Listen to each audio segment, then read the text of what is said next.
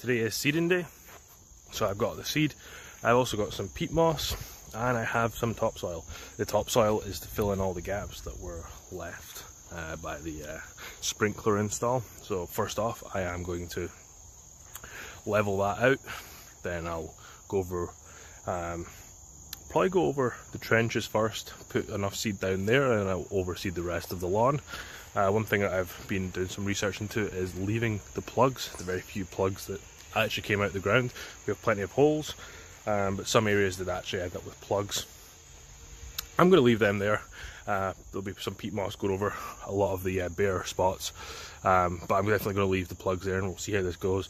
It's all a learning experience, so for next year I'll know whether to leave them or not. So I'm going to get on with this and uh, start filling in the gaps.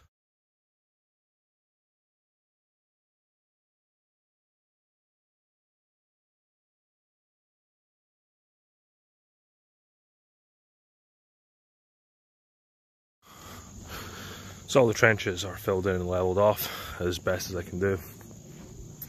Now, I'm not too sure what was going on over here, the previous owner, uh, so I'm going to seed it and then hope for the best. Now I'm not looking for golf course quality flatness here. So seed that we're going to be using is um, Scotts um, Landscapers Mix.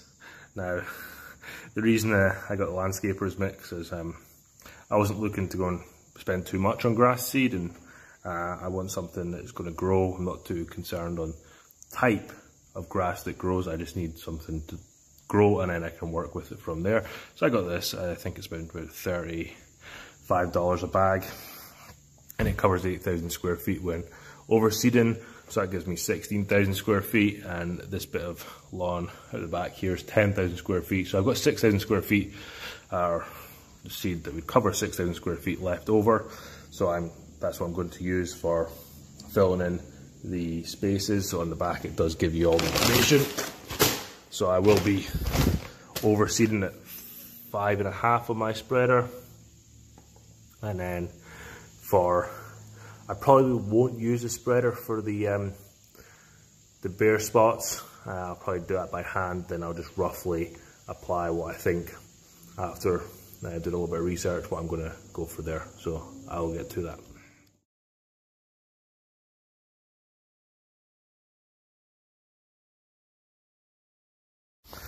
So I made sure my spreader is set five and a half.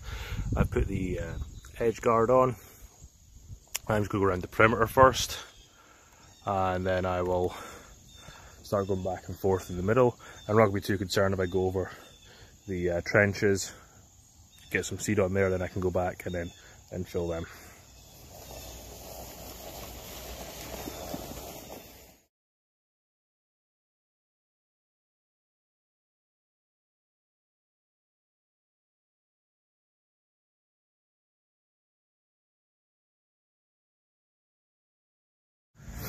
So I have finished seeding, I've gone over everything with the spreader and I've gone back over everything, um, put down a nice coating over the um, trenches.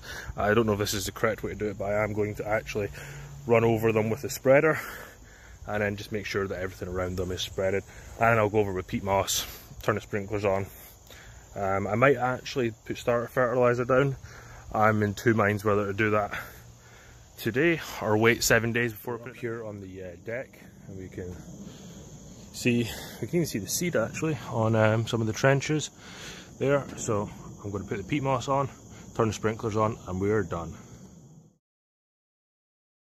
Well guys, I'm going to continue on like that. I'm not going to go through the whole process, kind of get it. I'm going to cover all the seed. I'm going to probably go around and rake um, the seed in where I'm not going to be putting too much um, peat moss on. Turn the sprinklers on. Um, it's been four days since I planted this seed and we've got some germination. That's pretty impressive. Um, just out here inspecting. Uh, the lawn because we had a um, rather bad rainstorm last night. Now this is day seven, so I seeded last Saturday. Today is Saturday. and it's the 3rd of October, I believe.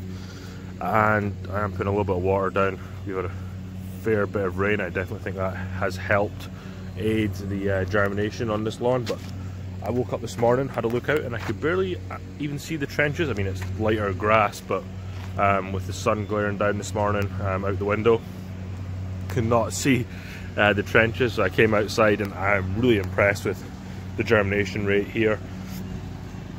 I don't know what it's like actually in the lawn. Uh, I don't want to walk over it and really find out, especially with newer grass seed there. Sprinklers are working well. Only issue I do see is some clumps of peat moss, but it looks like the grass seed is coming through. So I'm just going to leave that there and then hope that it breaks through. But I, would really want to see further down here, see how the germination rate has been, um, where we've dethatched and there's been bare spots of soil underneath. Um, and it's going to come in with uh, where the grass al already was there is. Uh, I just want to see how that is really starting to take because somewhere like here is actually at a really poor um, germination rate. I think that might be uh, purely because everything was washed away from here. But then here where the peat moss was down is doing great.